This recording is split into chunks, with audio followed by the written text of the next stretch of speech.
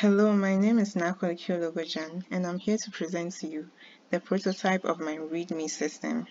So my README system is an, is an online library system where users can go there to read books, write books, contribute to books and also send messages to one another. So first of all, in building this application, as I said earlier, I used the rapid application development method to build the system. So I took into consideration the needs of the users and also made sure the system is less costly and done quickly. So now let me send, send you through how my system works. So this is a splash page of my system. So I made it in a way where a new user can join or sign in and I'm going to demonstrate it how the user can join for free.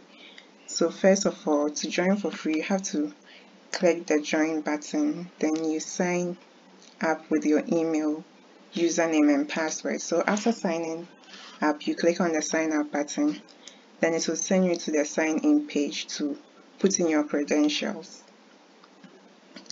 So this is the home page.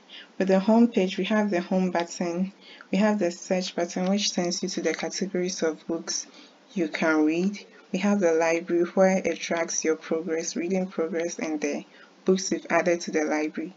And we have the writing center where you can write and publish your books. And we have the notification where you receive notifications and also can send messages through that platform.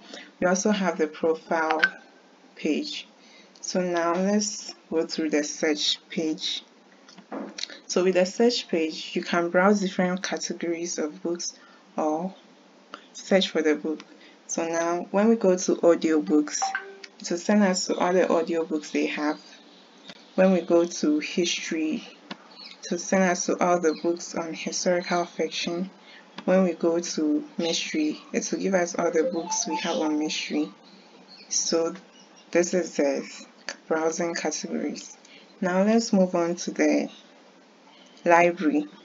So with the library, it shows you where you've read up to and the books you've also started reading and the ones you've also added to your library. So when you click on the continue to play, this is an audiobook. So when you click on continue to play, it sends you to the page and sends shows you your progress. So maybe with episode 1 of the audiobook you've reached here so that is it for the audiobooks and now with the actual books you can continue to read and it will send you to where you've reached exactly where you've reached on your book.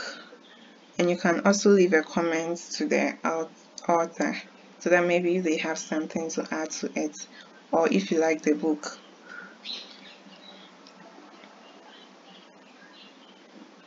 So now let's go to the writing page adding your own story. So the writing page first of all you can add a cover your story title and give a description on the story then write your stories so after you are done writing your story you can upload your story and it will be give you a message that your story has been published successfully by README Publications.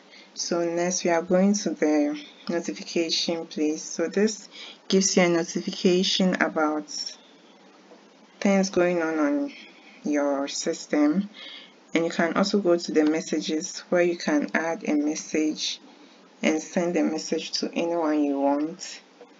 Then back to the home page. You can go to your profile. When you go to your profile you can decide to log out or check change your profile. Go to settings and change your profile delete account or change password. Then you can also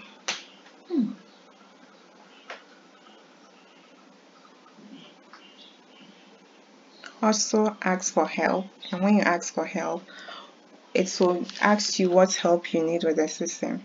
So basically this is what my system does. Thank you.